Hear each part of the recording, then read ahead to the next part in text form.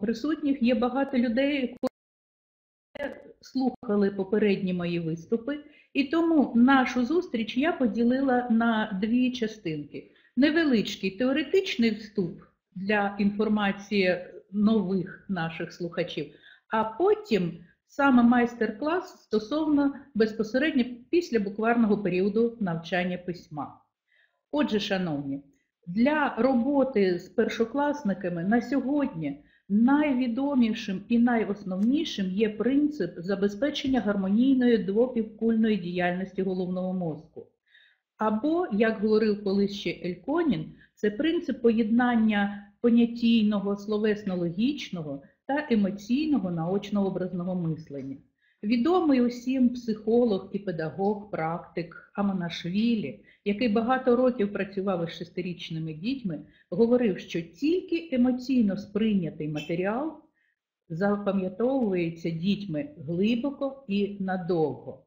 Для того, щоб цей принцип насправді був реалізований у навчанні письма першокласників, треба е, чітко усвідомлювати особливості кожного виду мислення. Давайте пригадаємо е, понятійно-логічне мислення і його особливості. По-перше, це е, здатність фіксувати істотні ознаки букви, тобто її цілісний образ, а також е, компоненти, елементи, які складають цю літеру. Крім того, це уміння виділяти задану букву серед інших, порівнюючи їх. Для цього використовуються такі прийоми мислення, як аналіз і синтез, порівняння і узагальнення. А ще треба не тільки побачити і уявити, а і висловити інформаційне судження про букву та її особливості. Ви знаєте, що діти можуть порівняти літери, але сказати, чим вони схожі і чим відрізняються, їм в шестирічному віці значно важче.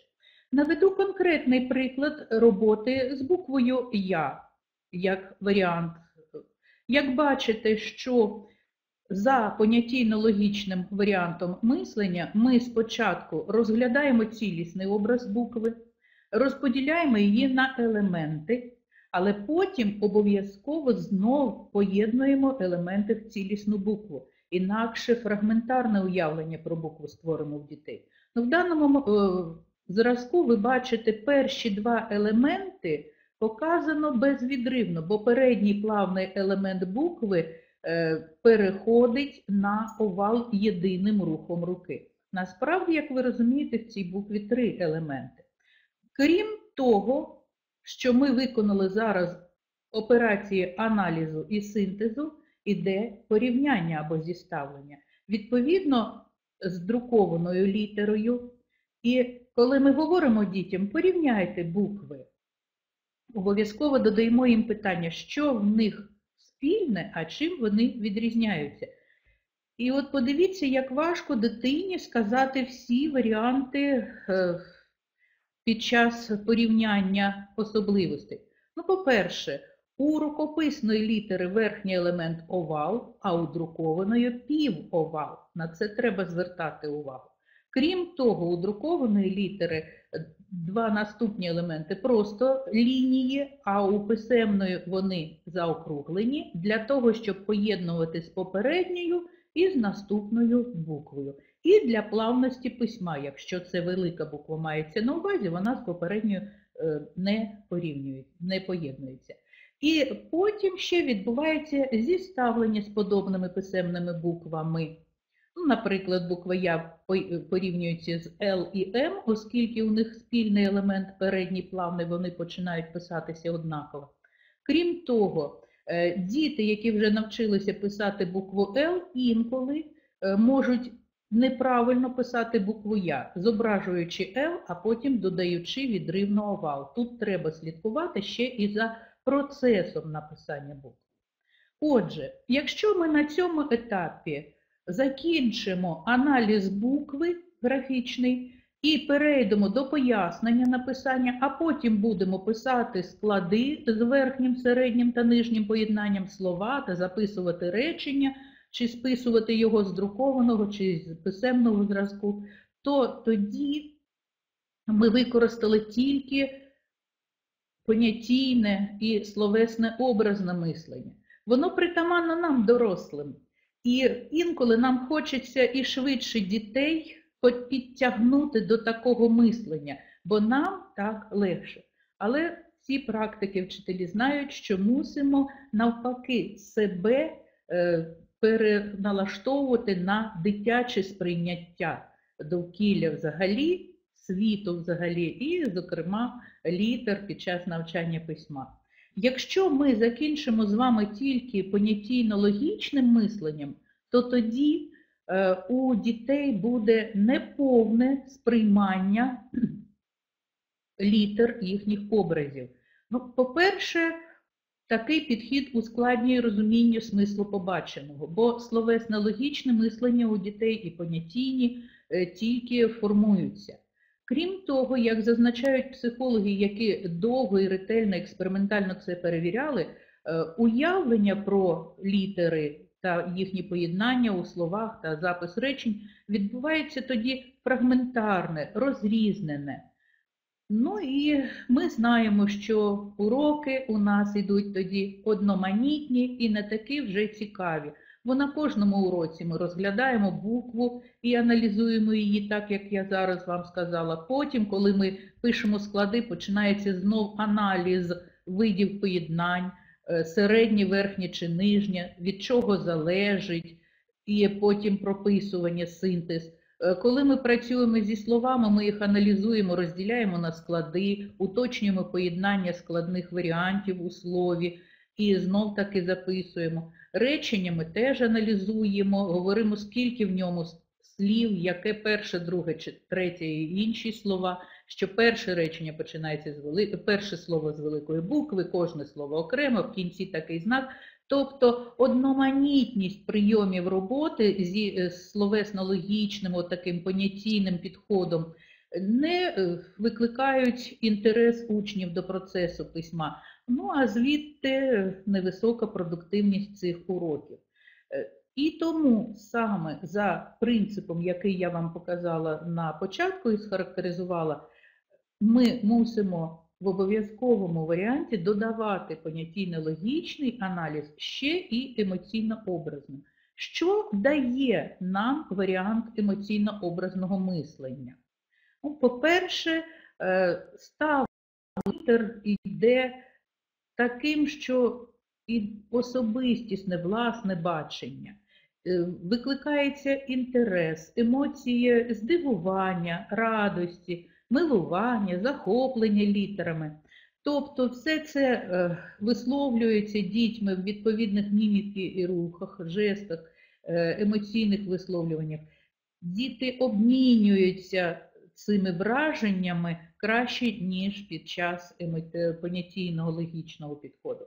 Я не кажу про те, що ми той аналіз і синтез прибираємо, а даємо емоційно-образне мислення. Я ще раз нагадую про те, що у нас йде єдність понятійно-логічного і емоційно-образного. От, наприклад, як можна додати весь той аналіз літери Я е, іншими завданнями емоційно-образного плану. Подивіться, яка відразу інша сторінка слайду. Тобто писемна літера Я красива, казкова, витягла ніжку для танців. Друкована буква Я це її старша сестричка. Вона полюбляє, наприклад, ягоди, чи, е, може, любить іншими займатися ділами. Вона старша, вона навчає молодшу багато чому. Під час е, це якраз порівняння рукописної з друкованою і використовуємо ці образи. Для того, щоб елементи літери Я проаналізувати через емоційне образне сприйняття, ми перетворюємо літеру Я на яблучко, говорячи про те, чим ми уявляємо овал літери, на що перетворюються обидва елементи із заокругленнями. Крім того, можна запропонувати дітям таку казку про те, як літера Я любить подорожувати на яхті. Е, Для таких е, казок у нас є такого типу сюжетні малюнки.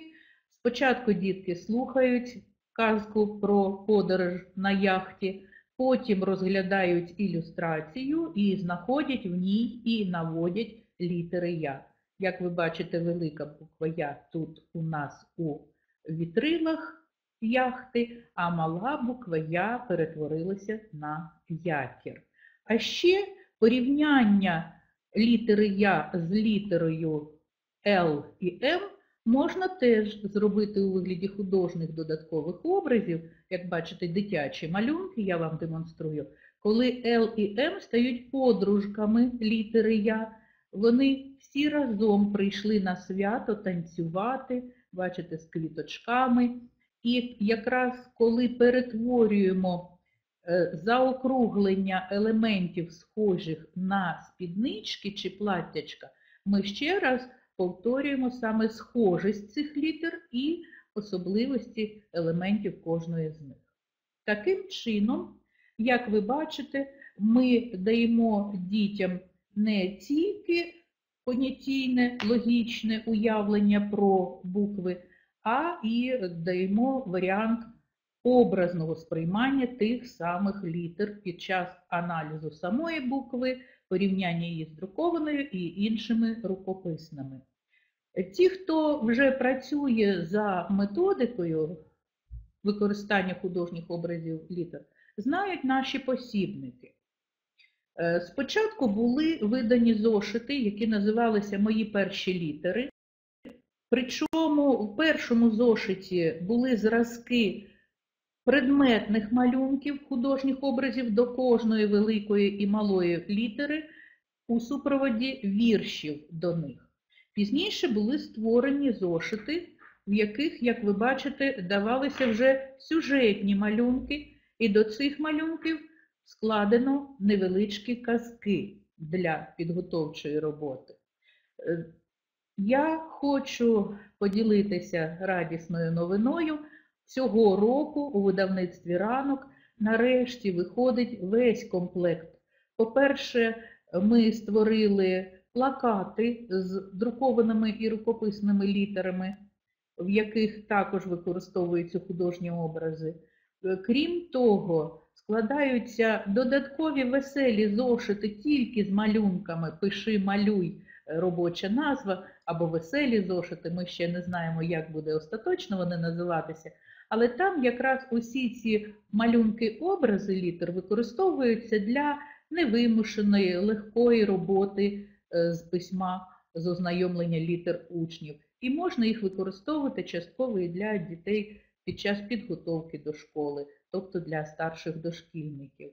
І найголовніше буде видано методичний посібник, у якому чітко розказано про те, що використовується в плані емоційно-образного навчання на кожному етапі навчання грамоти, тобто і добукварний, і букварний, і післябукварний періоди, будуть наведені всі приклади образів із віршами, казками і прийомами роботи, і зразки е, уроків навчання письма на кожний період з використанням цієї технології.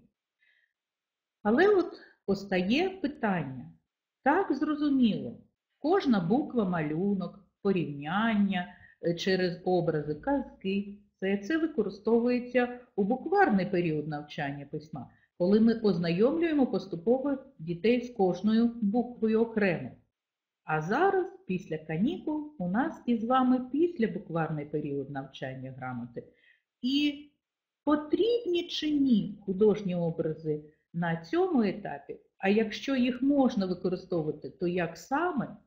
От якраз на ці питання ми з вами і будемо відповідати в нашому наступному майстер-класі, де я хочу, щоб ви не тільки слухали, а може і е, деякі завдання е, собі виконували зараз на власних аркушах. На жаль, у нас немає зворотнього зв'язку, і я не можу, як на справжньому майстер-класі, побачити ваші роботи. Ну, буду уявляти, що і як ви робили. Отже, ми переходимо до другої частини нашої зустрічі і будемо говорити про те, як використовувати художні образи літер у післябукварний період навчання письма дітей. На початку давайте пригадаємо, які ж завдання у нас після букварного періоду. Зрозуміло, що тут дві основних е, цілі, якщо можна так сказати.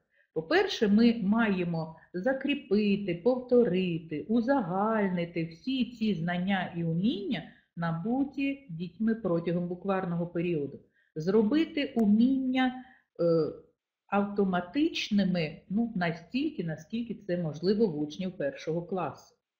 А крім того, ще протягом цих уроків ми забезпечуємо підготовку до навчання в другому класі, до уроків української мови.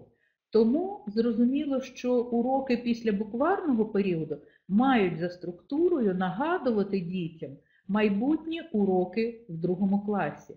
Тут ми можемо говорити про те, що е, структура урока не чітко відповідає уроку, уроку української мови в другому класі, але має певні елементи.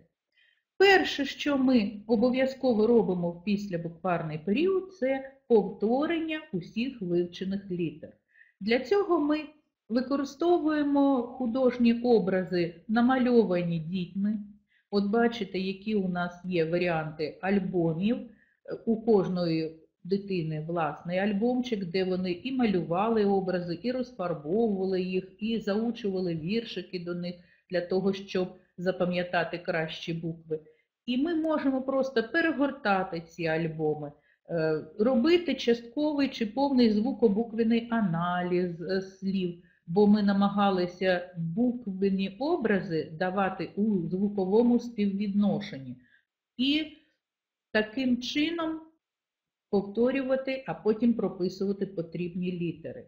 Є ще е, варіант роботи, так званий зворотній зв'язок. І от зараз я хочу вам один із прийомів показати і спробувати з вами його виконати. На е, варіанті цієї вправи ми спочатку читаємо вірш про літеру, а діти, пригадуючи образ, потім записують саму літеру. Ну, от бачите, перший вірш вже перед вашими очима. От вам літера така, дуже схожа на жука. Я думаю, що ви вже намалювали собі цю букву, або, скоріше, саме написали, а не намалювали. Безумовно, це буква Ж. Зараз, як ви бачите, я вам демонструю саме художній образ, який нагадував дітям букву Ж, а діти в зошиті записують тільки саму букву. Ось наступний вірш. Буква ця ріжочок місяць, лиш вона не сходить з місця. Яку букву ви написали? Думаю, що в першу чергу букву С. Але якщо ви той місяць намалюєте з носом, то тоді у вас вийде і буква Є. У нас в даному випадку не дуже добре видно, якраз в цьому образі йде буква Є велика.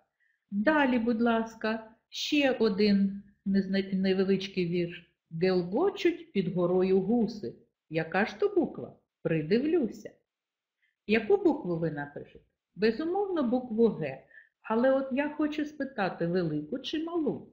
Давайте подивимося, які образи у нас були для Е, зображення цих літер. Як бачите, шия гусака і голова із дзьобом та крило це велика буква Г, і мала буква Г гуси, гусенятка. Е, більш відомий образ для цієї літери. Далі, будь ласка, ще один віршик. На осонні змій повзе. Схожий він на букву З скажете ви. І будете праві, вірш написаний саме для цієї букви. Уявляєте велику букву З, зображену у вигляді змія. В нашому збірнику образів, крім букви З, змія, ще інші букви до цього вірша. В даному випадку ви бачите малі букви Е. у вигляді змії. Ну і нарешті, останнє вам завданнячко. Зайчик з лісу прискакав, дітям букву показав. Оскільки зайчик, то це буде буква З, велика чи мала. Можна і ту, і ту намалювати е, у вигляді зайчика. У нас образ є малої літери З у вигляді зайчика. Як бачите, е, півовал перетворений на голівку звірятка, е, петля на спинку і брюшко зайчика. От таким чином ми говоримо про е, повторення літер за художніми образами. Я ще раз хочу нагадати, шановні слухачі, що ми говоримо не про всю методику після букварного періоду, яку ви добре знаєте, а тільки про те, як основні прийоми роботи після букварному періоді, які стосуються понятійно-логічного мислення, доповнити художньо-образними. Тобто, де і як і для чого можна використовувати художні образи літер саме в післябукварному періоді. І перше, що я вам розказала, це повторення літер. Далі наступним завданням післябукварного періоду є узагальнення літер за спільними елементами. Саме в післябукварний період починається використання так званих каліграфічних хвилинок. І це наближує урок до уроку в другому класі. На каліграфічних хвилинках ви повторюєте букви від найпростішої до найскладнішої з нарощуванням елементів. Тобто, нарешті, використовуєте генетичний метод навчання письма. Я всі букви тут на екрані на слайді вам не продемонструвала, а тільки окремі приклади. Найперший і найлегший елемент для дітей є похила лінія із заокругленням унизу. І як ви бачите, першою найлегшою буде буква І, потім Ї, додали крапочку і посунули їх, розташували інакше, потім И, Ша і так далі. Якщо ми візьмемо за основу е, похилу лінію із заокругленнями вгорі та внизу, то найлегшою буде буква Г, потім П, Т і нарешті Р. Чого раптом R вийшла складніше, ніж буква Т? Тому що подовжений похилий елемент, який виходить за основний рядок, дітям писати складніше.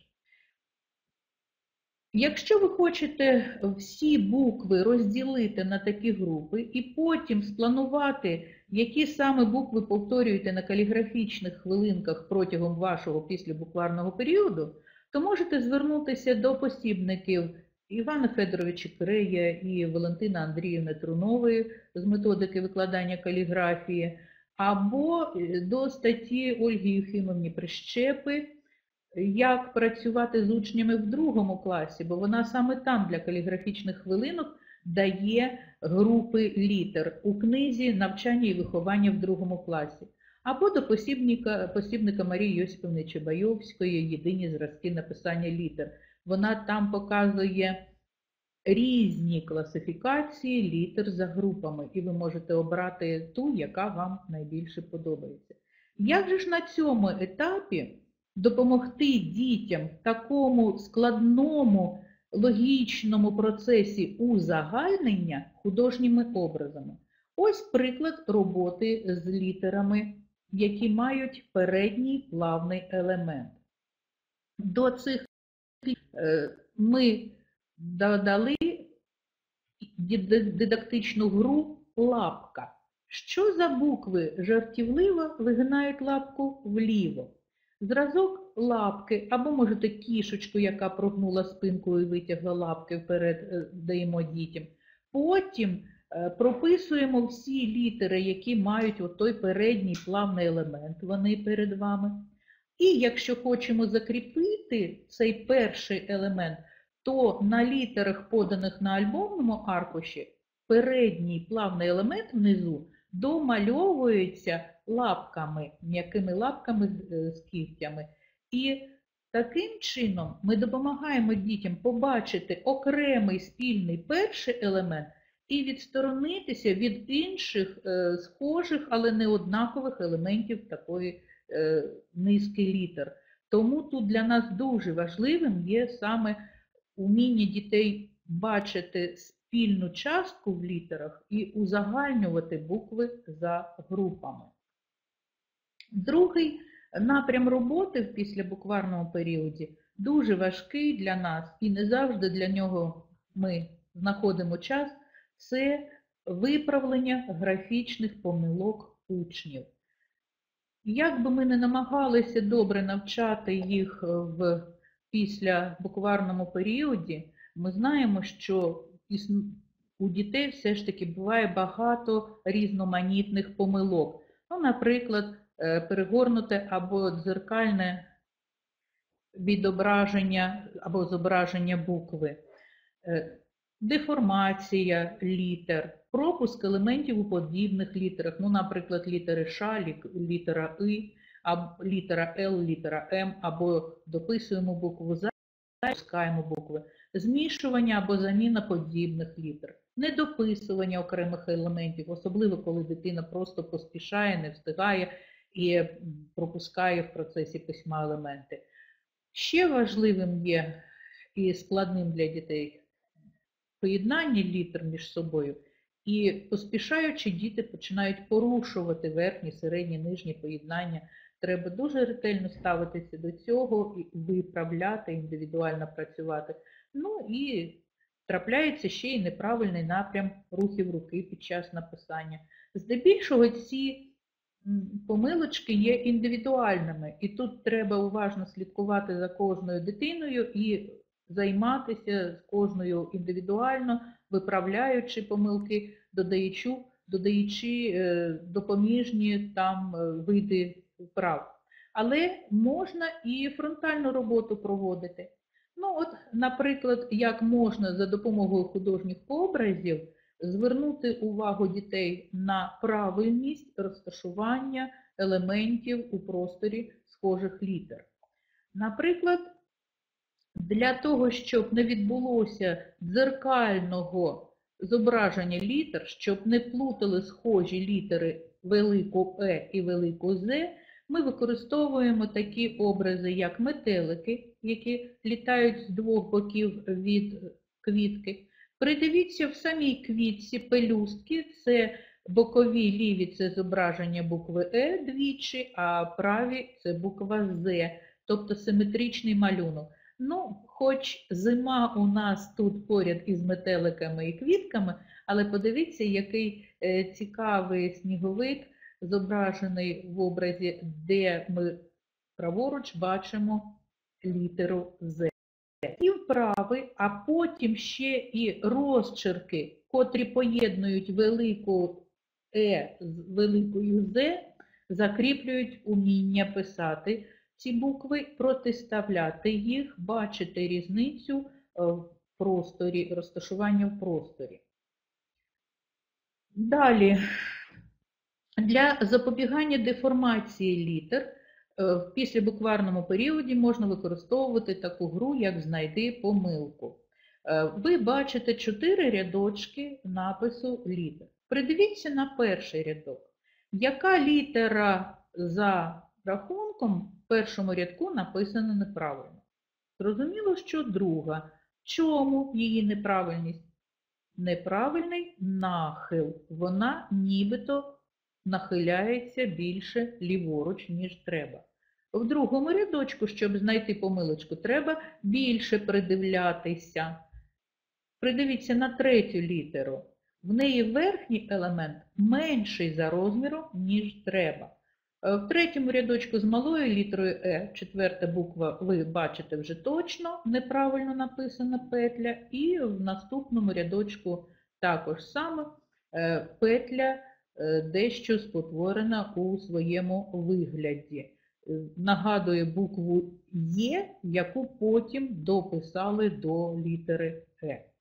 От такі ігри ми використовуємо для того, щоб запобігати деформації, бо діти дуже часто напишуть букву і не бачать, правильно чи неправильно, що саме неправильно в цій графемі зображено. А таким чином ми звертаємо увагу і е, дітей на помилочки. Хочу відразу сказати, що от до таблиць з друкованими рукописними літерами, які ми видаємо в цьому році, є електронні слайди, і в тому числі до кожної букви там є от такий слайд «Знайди помилку, які букви написані неправильно».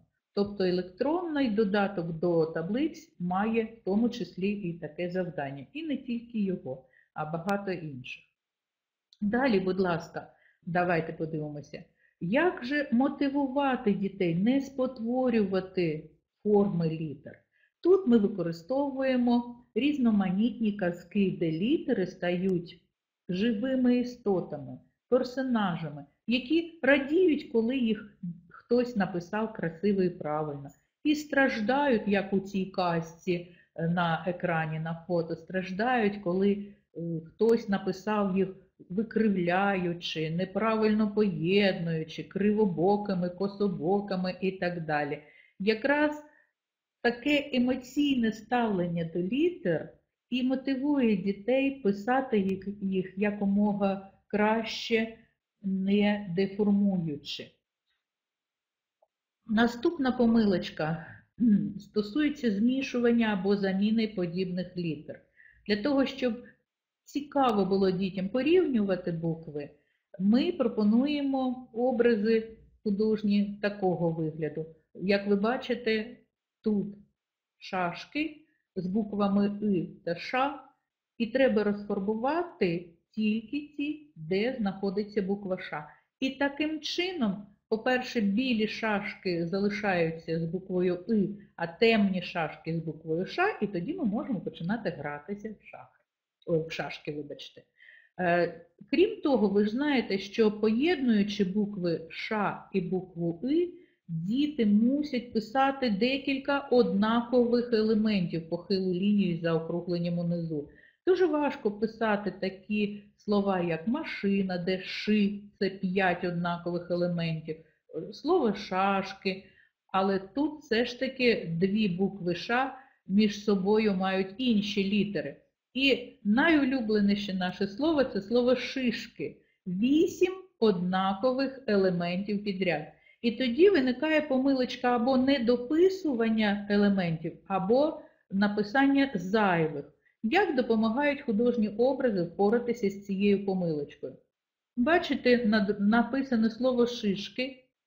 Для того, щоб підрахувати правильну кількість елементів, півовалом обводимо по три елементи букви Ш в першому і в другому випадку.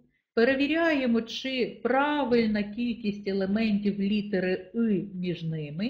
Ну, а потім ці півовали перетворюємо на шишки, додаючи отакий художній образ. Таким чином ми навчаємо дітей е, перевіряти правильну кількість однакових елементів під час написання різноманітних е, слів. Такий зразочок вам найяскравіший принесли сьогодні.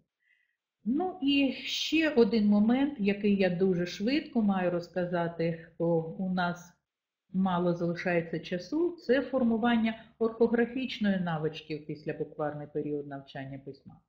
Е, по-перше, давайте пригадаємо, які ж орфограми для першокласників орфограми вивчалися у букварний період.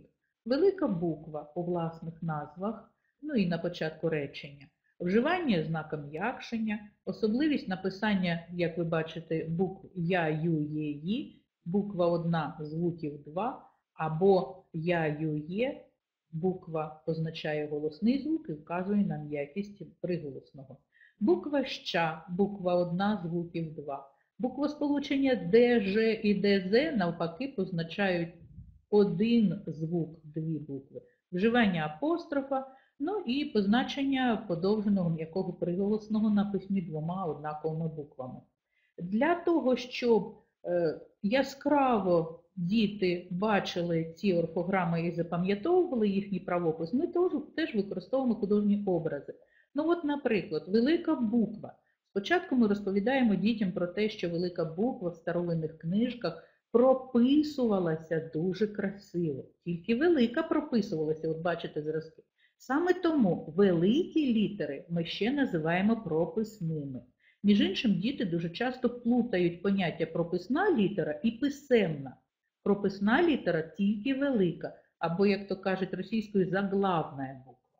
знайомимо дітей з різними буквами старовинних книжок, а потім використовуємо власні образи. Подивіться, як у іменах або у назвах е, Київ, Україна, Харків в даному випадку ми використовуємо художній образ для того, щоб запам'ятати, що такі слова пишуться з великої букви. Тут і віночок в букві О, і намагалася дівчинка калину ягідки е, в слові Україна в букві У показати. І жовто-блакитний колір використаний для великої К і так далі. Крім того, під час ознайомлення з позначенням подовженого м'якого приголосного двома однаковими буквами ми використовуємо такі веселі художні образи цих пар літер, які е, мають знайти своє місце у словах. І тоді вже діти читають слова, написані на рядках, і е, відносять кожне слово до певної групи таких пар літер з художніми образами. Далі наступний момент це словникові слова. Ви знаєте, що е, в першому класі в програмі зазначено 35 слів, вимову, значення і правопис, яких діти мають запам'ятати. Для цього ми використовуємо художні образи літери, одночасно художні образи слова. Подивіться, е, слово гудзик вгорі праворуч. По-перше, виділяється буква Г, щоб діти правильно вимовляли звук, правильно писали букву. І щоб дітки запам'ятали, що це таке, саме буква Г і перетворюється на той гудзик, із якої стерчить оця ниточка, яка нібито пришиває до слова першу літеру. Або, наприклад, слово влітку. Найбільшою проблемою для дітей першого класу є те, що вони намагаються це слово писати з буквою В окремо, бо для них існує слово літо, і тому влітку це тоді, коли було літо. І починають букву В писати окремо. Для того, щоб е, запам'ятати злите написання, ми пропонуємо букви першу і останню, в яких є елементи петлі, буква В вгорі, буква У внизу, перетворити на метеликів. І дітки запам'ятовують, що ці метелики не літають окремо, тобто буква В не пишеться окремо, а букви ці метелики ці сидять на слові, на буковках разом з усім словом. Таким чином ми намагаємося через образ запам'ятати злите написання цього слова. Або, наприклад, слово олень. Ви бачите, що перша буква О перетворилася на морду і роги цього, е, цієї тварини. Таким чином, ми не стільки говоримо про е, значення слова, скільки про наголос, бо російські мовні діти наші звикли до слова олень з наголосом на другий склад, а тут треба говорити олень. І саме те, що ми перетворили на О на образ першу букву, ще і роги згори написали, це нам підказує, що наголос падає саме на перший склад правильно говорити олень. Далі ще я можу розказати про те, як використовуємо художні образи під час списування і під час диктування. Ви знаєте, що в післябукварному періоді ми використовуємо обидва ці прийоми роботи, списуємо як з писемного шрифту, так і з друкованого шрифту, окремі слова, речення, невеличкі тексти. Я зараз не буду перераховувати види списування, які тут є на екрані. Е, хочу вам запропонувати варіанти списування тексту, які йдуть через емоційно-образне уявлення. Зрозуміло, що це тексти з малюнками. В даному випадку їх е, можна і самостійно підготувати. Ви вибираєте текст, потрібний вам, надрукуєте його, а потім додаєте замість певних слів малюнки. І тут ми навчаємо дітей і змінювати слова не ліс в першому реченні, а в лісі жив колючий їжак. А слово їжак якраз у нас є те слово з буквою «ії» на початку, яке ми запам'ятовуємо. Е, в плані диктантів ви знаєте, що ми тільки навчальні диктанти використовуємо в першому класі, здебільшого попередні Тобто спочатку пояснюємо написання, а потім диктуємо. Пояснювальний, коли написали і відразу пояснили, як пишеться і чому саме так написав. Коментоване письмо дається дітям е, складніше. Ми його використовуємо або у вигляді зразка вчителя, або після детального опрацювання попереджувального диктанта. Поступово залежить від рівня наших дітей. Полюбляють діти і вибірковий диктант, коли записується не все, а тільки окремі слова із допоміжним завданням додатковим. Ну і саме диктант письмо з пам'яті. Ви добре знаєте, як проводиться цей вид диктанту. Що стосується образів, то знов таки ж ми пропонуємо вам пригадати малюнковий диктант. Що тут важливо? По-перше, треба сказати, що у словах, які ви будете писати, обов'язково буде літера Г. Інакше вам діти напишуть ворона замість гава, ягоди замість агрус, ну і що-небудь інше. Або юла російське слово замість слова дзига, якщо вони його не пам'ятають. Після того, як ви повторите написання літери Г і поєднання її з попередніми і з наступними буквами, ви маєте право диктувати. Тут можна використати гру мовчанка або ротик на замок. Коли ми мовчки показуємо по черзі кожен малюнок, діти записують слова. І тільки після повного запису ми вже е, відкриваємо, як то можна так сказати, ротики і починаємо зачитувати, що саме написали, і перевіряти, як написали. Ну і останній момент е, зі словниковими словами, бо у мене залишилося буквально дві хвилиночки, послідовність роботи зі словниковими словами з використанням художніх образів. Зазвичай ми називаємо слово, пояснюємо його значення. От тут у нас лелека, говоримо звуки, створюючи схему, а потім, щоб діти запам'ятали, що ненаголошений звук позначається саме буквою Е, ми можемо дати дітям от такий малюнок, коли домальовуємо лелеку, перетворивши букву Е на його крило. Таким чином дітки дуже добре запам'ятовують правопис слів.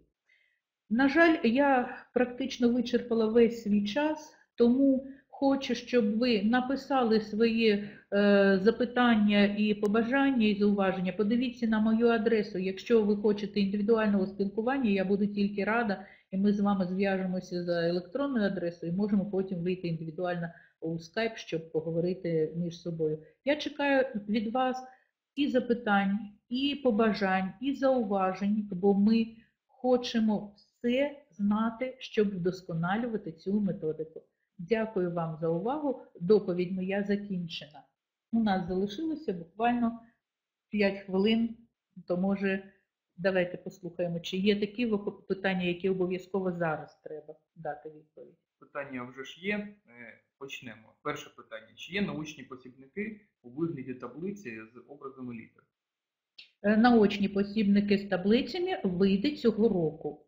І книжка вийде цього року з електронним додатком, щоб можна було роздрукувати учням ці образи. Наступне питання. Чи завжди доцільно використовувати художні образи літер при навчанні письму учнів першого класу? Е, Бажано використовувати, бо все ж таки треба не тільки словесно-логічне навантаження давати дітям, а й емоційно-образне. Але якщо ви вважаєте, що ваші діти вже настільки організовані і понятійний процес для них легкий, можете інколи використовувати, а не абсолютно на кожному уроці. Хоча є методика, коли це робиться саме на кожному уроці. І в книзі про це буде написано детально. Наступне питання. Е, Запропонуйте, будь ласка, конкретні приклади вправ завдань з використанням художнього образу літер. На жаль, на жаль, за браком часу зараз не можу. Зв'яжіться зі мною індивідуально. І крім того, якраз види конкретних вправ і методика проведення описані в цій книзі, книзі, яка влітку буде виходити. Ми обмежені в часі, щоб я розказала всі види вправ. Е, Чи буде зошит е, у широку лінію? Вони у нас є, і вони міністерствами затверджені. Е, І єдине, що на сьогодні вони є тільки українською мовою, і знаю, що є пропозиції аналогічні зробити російською мовою. Вони існують, вони затверджені є.